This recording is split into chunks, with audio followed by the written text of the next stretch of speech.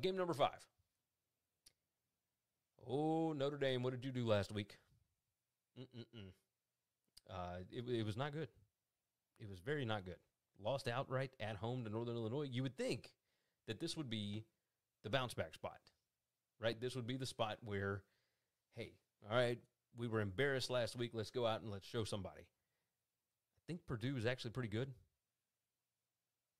That's, I mean, that can be terrifying, right?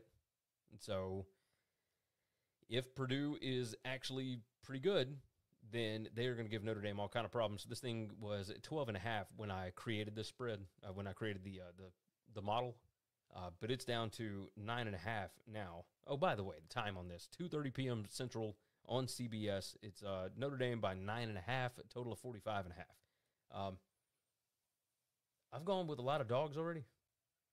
Probably going to go dog again here because I just don't trust Notre Dame. I, I don't think that Riley Leonard can throw the football. And yeah, we talked about them in the game against Texas A&M. Oh yeah, they uh, they were able to not play bully ball, but they just made less mistakes. We'll say that. In this situation, I don't think you know Purdue's only played one game, but Hudson Card looks like he knows what he's doing.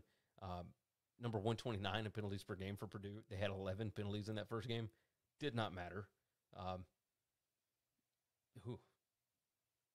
I mean, this is Graham Harrell with a Hudson Card has actually been pretty good. Like pretty, not not terrible. How's that? And and this year it's actually looking good. Um, and there's nothing on here that I like about Notre Dame really. Uh, they were not able to stop the run very well against A and M or really against uh, Northern Illinois. I, I don't feel good about this team whatsoever. I mean, they're number 100 in offensive line yards given up, number 88 in stuff rate. Uh, this was supposed to be a good defense, and the secondary is good. But if you can't get push up front, then that's a problem. And I don't. Maybe Purdue's not the team that will be able to take advantage of that. But I don't know. I mean, these Big Ten teams are they're pretty rough. They are pretty rough. So give me Purdue plus nine and a half on this. I wish it was still double digits. You could still probably get a double digit out there, uh, but that's the way that I'm going to go on that one.